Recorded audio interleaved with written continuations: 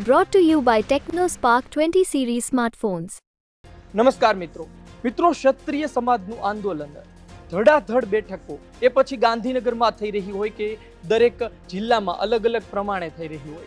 સ્થાનિક નેતાઓ હાજર રહ્યા હોય કે પછી ક્ષત્રિય સમાજના એ આગેવાનો હાજર રહ્યા હોય કે જેને કામ સોંપવામાં આવ્યું છે, જેના પર ક્ષત્રિય સમાજે વિશ્વાસ કર્યો છે.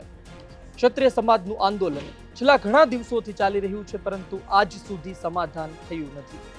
આ બાબતને લઈને સરકાર ચિંતિત છે, સરકારમાં દોડધામ છે. હર્ષસંઘવી મેદાને ઉતર્યા છે અને હર્ષસંઘવી દ્વારા એક બાદ એક બેઠકો કરવામાં આવી રહી છે. ગઈકાલે આપણે જોયું કે ક્યાં બેઠકો કરી? રાજકોટમાં બેઠક કરી, જામનગરમાં બેઠક કરી અને આ સાથે જ તેમની બેઠકો હજુ પણ યથાવત છે. જી હા મિત્રો, જામનગર, રાજકોટ અને ભાવનગર બાદ હવે કચ્છ, બનાસકાંઠા અને આણંદની વાત છે. આ ત્રણ જગ્યાએ બેઠકની વાત છે. આ ગુપ્ત બેઠકમાં શું રંધાયું? આ પહેલાંની બેઠકમાં શું રંધાયું? શું નક્કી કરવામાં આવ્યું છે? અને શું ટિકિટ ખેંચાશે કે નહીં? તેના પર વાત આજના વિડીયોમાં. પરસોત્તમ રૂપાલા વિવાદને આટલા દિવસો થઈ ગયા છે, પરંતુ સમાધાન શા માટે નથી આવતું? આ એક સવાલ છે. સંકલન સમિતિ ટિકિટ ખેંચવા પર અડગ છે?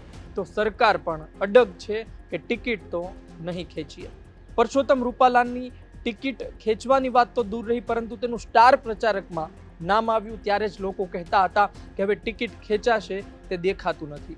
આ તમામ સંજોગો વચ્ચે પરસોત્તમ રૂપાલા બે બાક થઈને બોલી રહ્યા છે. તેમની સભાઓમાં વડાપ્રધાન મોદીના કાર્યો ગણાવી રહ્યા છે અને ક્ષત્રિય સમાજને લઈને પણ થોડું ઘણું નિવેદન આપતા રહ્યા છે. એ પછી જય શિવાજી, જય ભવાનીનો નારો લગાવવાનો હોય કે પછી એમ કહેવાનું હોય કે તમારી જરૂર છે આ સમયે સાચવી લો.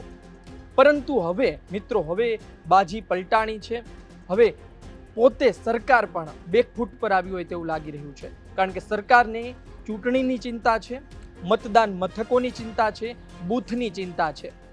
આવનાર સમયમાં સ્થાનિક સ્વરાજ્યની, પંચાયતની અને અનેક ચૂંટણી અનેક ચૂંટણી આવવાની છે તેની પણ ચિંતા છે. આ તમામ સંજોગો જોતા કચ્છમાં બેઠક કરવામાં આવી, મિત્રો. કચ્છમાં બેઠક થઈ પ્રદ્યુમનસિંહ જાડેજા હાજર રહ્યા અને આ પ્રદ્યુમનસિંહ જાડેજા બેઠકની બહાર આવે છે અને કહે છે કે ક્ષત્રિય સમાજના આંદોલનને લઈ ચર્ચા કરવામાં આવી.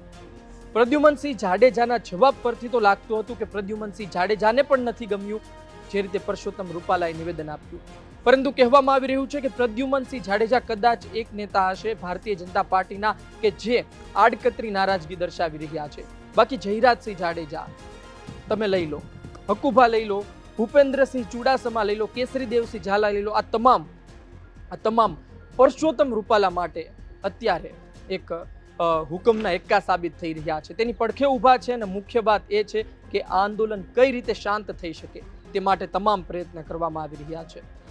ભાવનગર રાજકોટ જામનગર બાદ બનાસકાંઠા, આણંદ અને મુખ્ય વાત જે મેં તમને પહેલાં કરી, એ રીતે કચ્છ, આ ત્રણ જગ્યાએ વધુ બેઠક મળી છે. અને બેઠકમાં શું રાંધવામાં આવ્યું છે? શું કહેવામાં આવ્યું છે? શું સાંભળવામાં આવ્યું છે?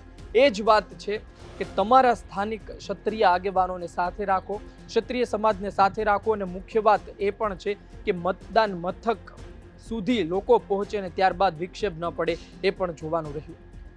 પોલીસ તંત્રને પણ આદેશ આપી દેવામાં આવ્યો છે કે શું કરવાનું છે, શું નથી કરવાનું. કારણ કે ચૂંટણીનો દિવસ નજીક છે અને આ ચૂંટણીના દિવસે, મતદાનના દિવસે કંઈ વિક્ષેપ ના પડે. આ માટે પણ તમામ કામગીરી કરવામાં આવી રહી છે.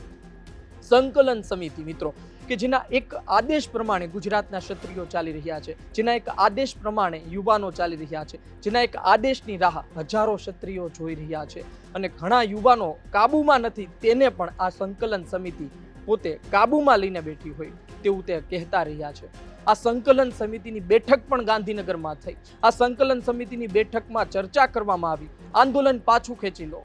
સમગ્ર આંદોલન શાંત પાડી દો. ટિકિટ નહીં ખેંચાય તે સિવાયની તમારી કોઈ પણ માગ હોય તે અમે સ્વીકારવા તૈયાર છીએ. પરંતુ સંકલન સમિતિ પણ મિત્રો, એ જ વાત પર અડગ છે કે ટિકિટ ખેંચાવી જોઈએ અને ટિકિટ ખેંચો તો જ આ આંદોલન સમાપ્ત થશે. તેની સામે તૃપ્તિબા, તેઓ પણ ભાષણ કરી ચૂક્યા છે કે ટિકિટ ન ખેંચાય તો આંદોલનનો કોઈ અર્થ નથી. આ આંદોલન પછી પણ, આ ચૂંટણી પછી પણ આ આંદોલન શરૂ રહેશે અને તમામ બીજી ચૂંટણીઓમાં તેની અસર જોવા મળશે. અત્યારે ક્ષત્રિય સમાજ પોતે શિસ્તમાં ચાલી રહ્યો છે. સંકલન સમિતિ જે કહે છે એ મુજબ ચાલી રહ્યો છે, પરંતુ આવનારો સમય કદાચ સંકલન સમિતિના હાથમાંથી પણ નીકળી જાય. કારણ કે આ યુવાનો મુખ્યમંત્રીનો વિરોધ કરતા પણ જોવા મળ્યા છે વડોદરામાં અને ધારાસભ્યને પણ નથી છોડ્યા. જાહેરમાં રાજીનામું પણ આપેલું છે કેટલાય ક્ષત્રિય આગેવાનોએ. આ તમામ પરિસ્થિતિ જોતા હવે સંકલન સમિતિ શું કરવું એ નક્કી કરશે. ગુજરાત સરકાર આ બાબતે એટલી પણ ચિંતિત નથી કારણ કે હજુ હજુ સુધી તમામ વસ્તુ નિયમમાં ચાલી રહી છે. શિસ્તનો ભંગ થયો નથી.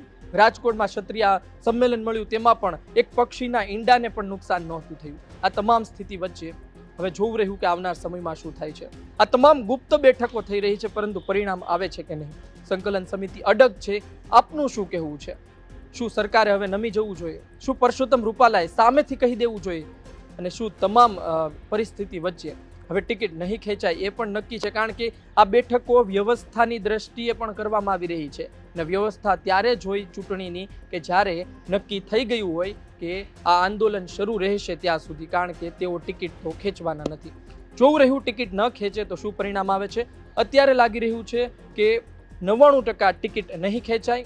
પરસોત્તમ રૂપાલા લડશે, પરંતુ હવે ક્ષત્રિય સમાજ પર છે કે અંતિમ ઘડી સુધીમાં સરકાર સામે તેઓ શું કાર્યક્રમો આપે છે? મોહન કુંડારિયા તૈયાર છે? જો પરસોત્તમ રૂપાલા પાછી પાની કરે અથવા તો તેની સરકાર પાછી પાની કરાવે. આપનું શું કહેવું છે? કોમેન્ટ બોક્સમાં લખો. આ વીડિયો પસંદ આવ્યું હોય તો લાઇક શેર કરવાનું ચૂકતા નહીં. મને આપશો રજા. નમસ્કાર.